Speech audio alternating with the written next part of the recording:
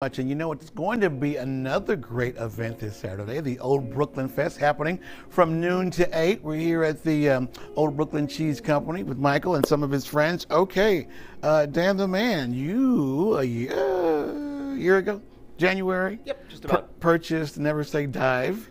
It's going to be a, a really cool uh, neighborhood bar right in the heart of the street festival. Congrats on that. Thank you. You're doing well. What are you going to make for us? So this drink, I thought would make the most appropriate one for this. It's called the Old Brooklyn. Mm-hmm. It's sort of our take on uh, Manhattan. Very good. All right, make away.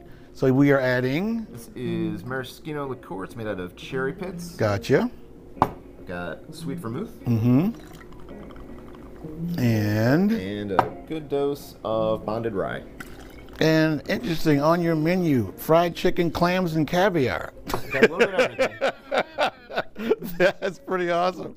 How's it been so far? We have no complaints at all. The Yeah? been great for us. That's so awesome. And you're actually getting people from other parts of the city coming in to check your guys out. Definitely, which has been great for us too. Yeah, we get a lot of people from uh, Tremont, Ohio City, farther Okay. south, farther east, everywhere. Which is great because it's really not too far, is it? Not and at all. Just a, not even a hop, skip, and a jump. Just a hop and a skip, and you're here. Yeah, right by every single freeway. That's awesome, man. That's awesome. All right, your play, the old Brooklyn and not the old Manhattan. I love it. Well done, sir. All right, we're going to come over here. Good morning, you guys. Franklin Hot Dogs, introduce yourselves. Hi, I'm Rachel. Mm-hmm. Lloyd. Okay, and Rachel, you guys have.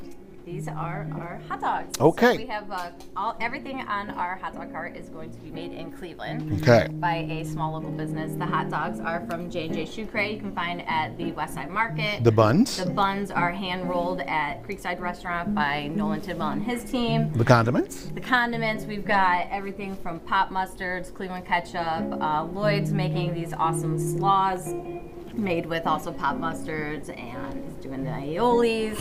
And uh, yeah, we've got all Mm-hmm. So literally, it is a homemade hot dog. Yeah. I mean, from from like my grandmother used to say, from the rooter to the tutor. It's a, it's it, yeah. and uh, so cool. Right and the the reception has been has it been good for you It's been guys? great. Been Okay. really awesome. Now I see we have three different ones. This one is This is our Polish boy. This is our take on the Polish boy, Mm-hmm. which is usually made with the kielbasa. But we have quarter pound hot dogs, so we've got this hot dog with the slaw, barbecue sauce, and crumbled chips over top. okay. This Center is our old Brooklyn dog. This one's made with all of the companies in the, that are in the Ah, Brooklyn well so done. We've got Home Pantry, Fuego Fermentations, and Pop Mustards in that carrot slaw. And Lloyd's making the uh, aioli with the Fuego Fermentations. That is great. The old Brooklyn. Okay, and this one. And this is the classic. So we have our garlic dill relish, Cleveland ketchup, and uh, pop mustards on that as well. That is so awesome. Congratulations. Thank you. And congratulations to your two boys who didn't have to get in the uh, costume for it. yeah, they stayed out of the Yeah, but they're, they're vice presidents of marketing. We got them covered.